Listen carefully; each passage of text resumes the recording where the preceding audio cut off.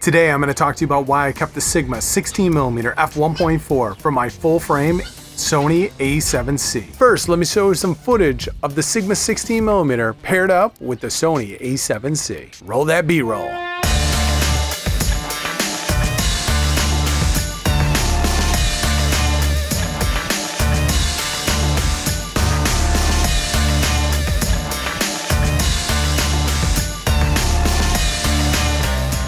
Today, I'm going to be talking about the Sigma 16mm f1.4 and why I kept it with my Sony a7C. First, this is a super light compact lens that has great autofocus. I mean, this thing is a dynamite lens for your Sony APS-C camera. And paired with your Sony a7C, it's no exception. I've been using this lens with my Sony a7C ever since I picked up the camera. And I gotta tell you, I've been very happy with the image quality coming out of it. I mean, this lens is super light. It comes in at just a little bit over 400 grams and is under 15 ounces. So you pair it with your super light compact Sony a7C and you got one super light vlogging setup. Now the reason why I like this focal length is because the 16 millimeter lens paired with your Sony a7C will put your camera into APS-C mode, which is gonna give you a 24 millimeter equivalent, which is absolutely fantastic. I love the 24 millimeter equivalent. I think it does a great job, even when it's uptight like I am right now. I do have the Sony 20 millimeter and I'll be completely honest with you, sometimes that is just a little bit too wide for a talking head video. So the 24 millimeter equivalent is like perfect. I also have the Sony's 35 millimeter, but at the end of the day, I do like this 24 millimeter equivalent. I mean, one of my favorite features about this lens is how sharp this lens is. It is incredibly sharp. It is probably the best Sony APS-C lens that you can get on the market right now. I think this lens does a fantastic job with the sharpness. I mean, this thing is lightning sharp. I mean, it's a prime lens, so it's gonna do exceptionally well with sharpness. Goes all the way down to an f1.4. But the only downside is that f1.4 paired with this full frame camera does give you an equivalent of about an f2.0.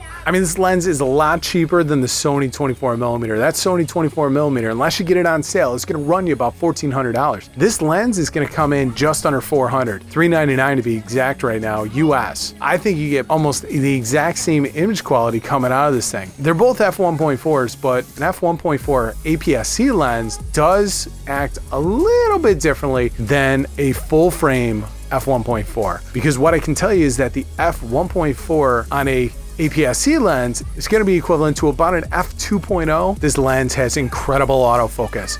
So as you can see, I mean, the autofocus is super fast and super sharp. It locks right onto your eye without having any issues. This lens is pretty much a native lens for your Sony E-mount camera. And I mean, it brings out exceptional colors. I do have to tell you that I absolutely love the colors coming out of this lens. This lens has always been one of my favorite go-to lenses for image quality. I mean, it's beautiful. The colors are spot on. And I just think it delivers a great, great image. And this thing has always been my favorite APS-C lens. I mean, I use this lens probably more with my Sony a6400 than any other lens. Paired up now with my Sony a7C, and I think think it does a fantastic job with this camera as well. Now, I love pairing up an APS-C lens with my full frame camera, as long as it has APS-C mode. Now, I feel like it goes into that Super 35 mode and you get a super sampled 6K res down to 4K, and I think that image looks fantastic. I sometimes think it's better than your full frame look. The great news is too, you also still get 4K image quality coming out of this lens. So even though you're in an APS-C crop mode, no worries, you're still getting that 4K goodness coming out of this lens. And I think that image just looks absolutely great. You can also still use clear image zoom. Now you won't be able to punch in one and a half times because you're already punched in one and a half times. But with clear image zoom, you can still use that on your Sony a7C. Now for me, I have the clear image zoom set to the the trash can button. So I hit that trash can button and then I hit the left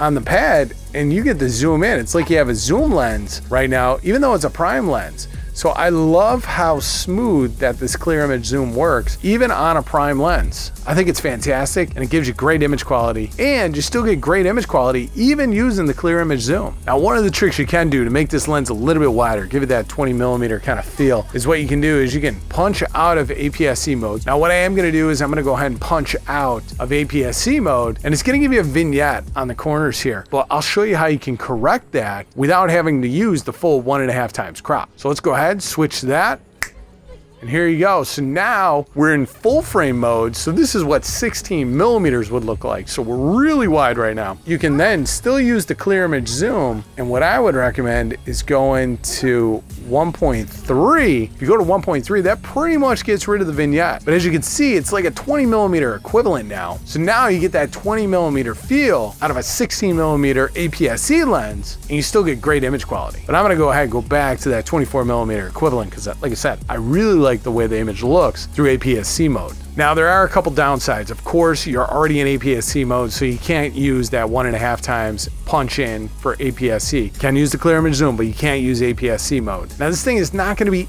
as good in low light as the Sony 24mm f1.4, specifically made for the full frame cameras. Like I said, this thing is gonna be about an f2.0, but that's still not bad. I mean, that's still really good in low light. Like I said, that f1.4 on the full frame lens, definitely gonna be better in low light. Now, this is is 100% why I love this lens and I've decided to keep it. Now, maybe someday I will upgrade to that Sony 24mm f1.4, but for right now, I've been pretty happy with this $400 lens. If you enjoyed this video, I'm sure you're gonna enjoy the video on the screen right now. It's another video about a lens for the Sony E-mount system. Feel free to click on that video and I'll see you on that next video. Before you leave, don't forget to like, subscribe, and ring the bell. Thanks for watching. Thanks for watching. Bye.